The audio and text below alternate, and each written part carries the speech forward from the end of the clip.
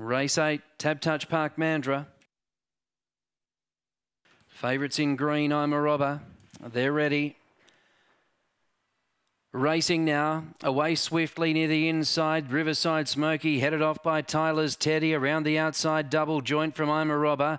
And then Tamba Gundy, very wide Silent Wind. And then Panda Girl, Miss Venom. And a long last Riverside Smoky. Leader Tyler's Teddy, but here's double joint joining in quickly. They're five in front of I'm a Robber. And then Silent Wind. Double joint moves up to Tyler's Teddy, hits the lead. I'm a Robber running on, but double joint beat I'm a Robber. Third Tyler's Teddy, fourth Miss Venom and then came Silent Wind, Tamba Gundy, Panda Girl, and Riverside Smoky.